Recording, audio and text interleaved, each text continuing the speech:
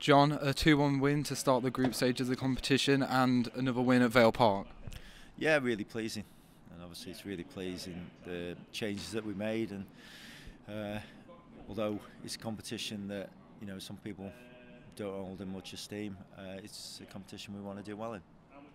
And obviously, you've taken advantage of the competition tonight to rotate the squad, making five changes. But it must be good to see that you can make those changes and still get a result like this. Yeah, it was great, really pleasing, and the way that we played uh, started off really well, uh, and then faded a bit first half.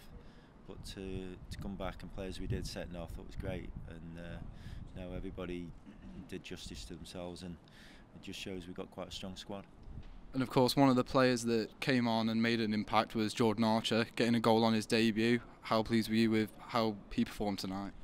Yeah, it's you know it's the start that you want him to have. You know, it, it'll make him feel part of the football club now. Um, when you sign somebody, especially a striker, uh, you want them scoring goals, and uh, obviously he couldn't have a better start than that. I just hope it's one of many. And of course, the another win here tonight. Will you take that momentum into a difficult travelling game to uh, Newport at the weekend?